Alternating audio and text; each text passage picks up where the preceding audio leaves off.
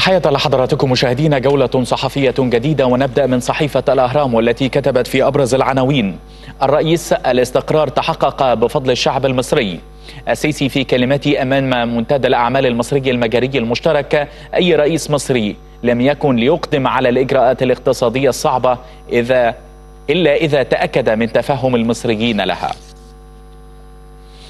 وفي نفس الإطار من صحيفة الأخبار أوربان بدون استقرار مصر لا استقرار في أوروبا.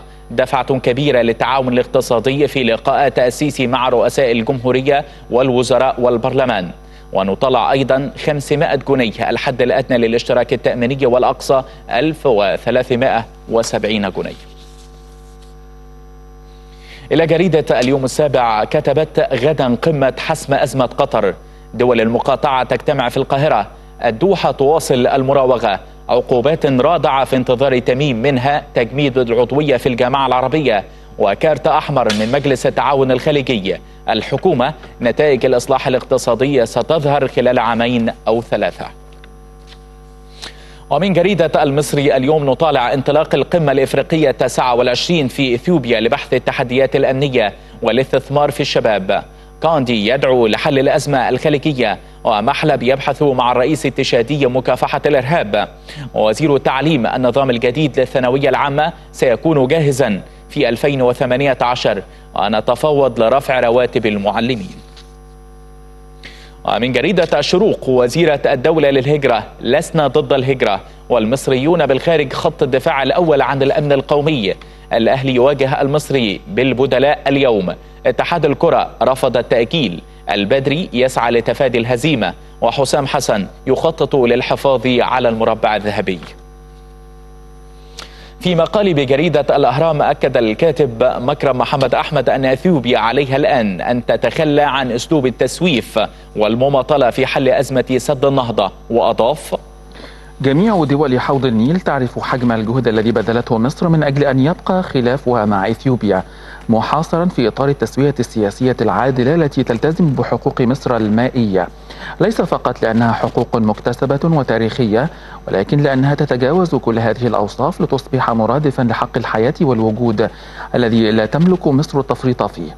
ومن ثم فإن كل محاولات التسويف ورفض إثيوبيا الراهن إعطاء المكتب الاستشاري معلومات لبحث الأضرار التي يمكن أن تقع على دولتي المصب لابد أن يكون له نهاية عاجلة في إطار علاقات شفافة واضحة تقوم على مبدأ المنفعة المتبادلة دون الإضرار بمصالح مصر الحيوية.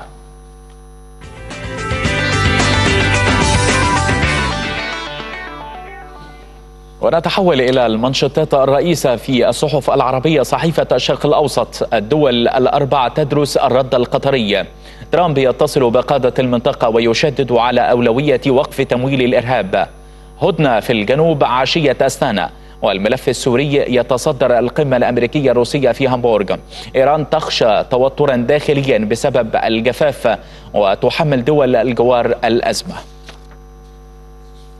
وإلى منشطات صحيفة الحياة اللندنية واشنطن تضغط على قطر لتقديم تنازلات تمهد لمفاوضات.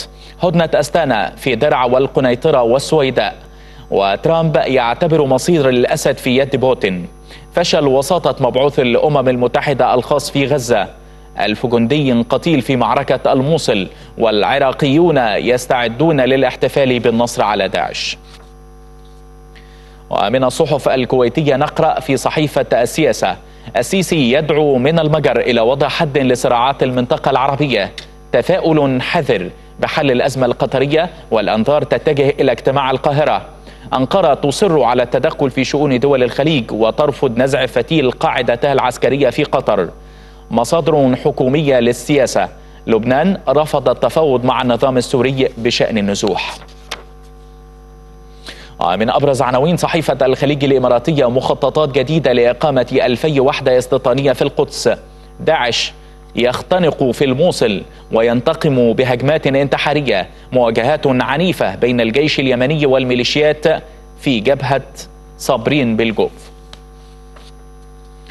ومن صحيفة الدستور الأردنية نطالع مستوطنون يقتحمون باحات المسجد الأقصى ومخطط استيطاني جديد في القدس. قوات سوريا الديمقراطية تخترق الجزء الأكثر تحصينا من الرقة. الجماعة العربية تبحث سبل مواجهة التغلغل الإسرائيلي في القارة الإفريقية. الصحة العالمية تعلن ارتفاع وفيات الكوليرا في اليمن إلى 1560 شخصا. وتحت عنوان مهلة ثمينة أكدت صحيفة البيان الإماراتية في افتتاحيتها أن تمديد المهلة الممنوحة لقطر للنظر في المطالب العربية المشروعة تأتي في سياق إعطاء وقت أطول للعقل القطري وتابعت الصحيفة. تحاول الدوحة في سياق تبريرها لحشد القوات الأجنبية على أراضيها. إيهام المجتمع الدولي أنها مهددة من جيرانها. وفي الواقع فإن الدول العربية التي أعلنت مواقفها الصريحة من سياسات الدوحة التخريبية تصرفت بمنتهى الشفافية والوضوح ولم تلوح